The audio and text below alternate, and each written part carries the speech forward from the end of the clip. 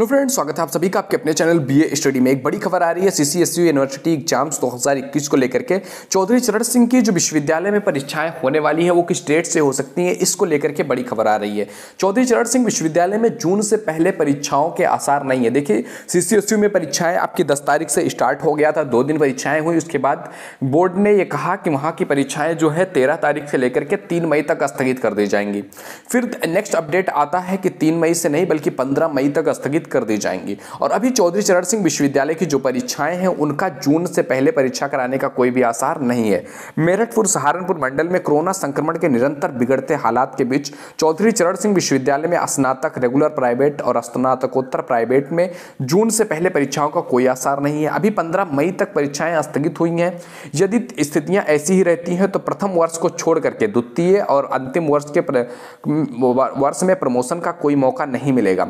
जिन छात्रों को पिछले वर्ष कोरोना के चलते प्रथम वर्ष से दूसरे वर्ष में प्रमोट किया गया था, उन्हें इस बार पेपर देने पड़ सकते हैं। इन छात्रों को द्वितीय वर्ष के पेपर से ही प्रथम वर्ष के नंबर मिलने वाले हैं। यानी कि जो पहले साल नंबर प्रमोट कर दिया गया था, उसमें कोई मार्क्स तो थे नहीं, जस्ट आपको प्रमोट कर दिया था और इस साल जो जैसा आपका परफॉर्मेंस रहेगा, उसके अनुसार ही आपके, आपको पिछले वर्ष वर्ष का भी नंबर दिया जाएगा। लेकिन निरंतर बिगड़ रहे हालात उक्त दोनों मंडलों में कोरोना की स्थितियाँ निरंतर बिगड़ रही मेरठ में प्रतिदिन एक हज़ार से अधिक मामले सामने आ रहे हैं कैंपस और कॉलेजों में शिक्षक एवं कर्मचारी लगातार संक्रमित मिलते जा रहे हैं। जो कि कॉलेज में शिक्षक और कर्मचारियों के संक्रमित होने से स्थितियाँ हैं, उसमें 15 मई तक सुधार लाने का कोई आसार नहीं दिखाई दे रहा है। शासन के निर्देशों के अनुसार जब तक हालात सामान्य नहीं हो जाते, तब तक परीक्षा भी संभव नहीं है। द्वितीय और फाइनल में देने पड़ेंगे पेपर यदि हालात नहीं सुधरते हैं तो पिछली वर्ष की तरह प्रमोशन की स्थितियाँ हो तो भी इसका लाभ सबको नहीं मिलेगा। विश्वविद्यालय ने प्रथम वर्ष को बिना पेपर ही द्वितीय वर्ष में प्रमोट कर दिया था। शर्त यह थी कि द्वितीय वर्ष में प्राप्तांक ही प्रथम वर्ष में माना जाएगा। इस स्थिति में द्वितीय वर्ष में छात्रों को पेपर देने ही पड़ेंगे। फाइनल वर्ष ईयर में पहले की पेपर की व्यवस्था है।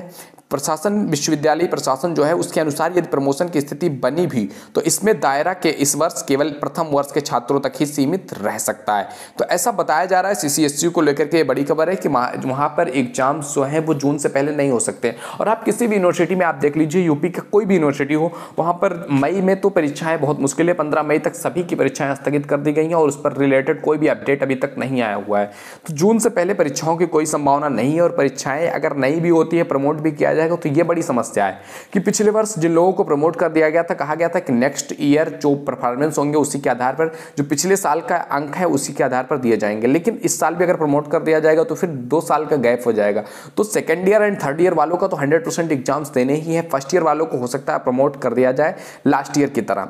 तो ये बड़ी खबर थी। आई होप आपको पसंद आया होगा। वीडियो पसंद आया तो लाइक ज़रूर कीजिए। पहली बार चैनल पर आए please visit the channel channel को विज़िट कीजिए। अगर आपको वैल्यू मिलता है तो सब्सक्राइब करना नोटिफिकेशन सभी ऑन रखना ताकि आपको अवेलेबल वीडियोज़ की नोटिफिकेशन मिलती रहे। तो मिलते हैं आपसे अगले वीडियो में।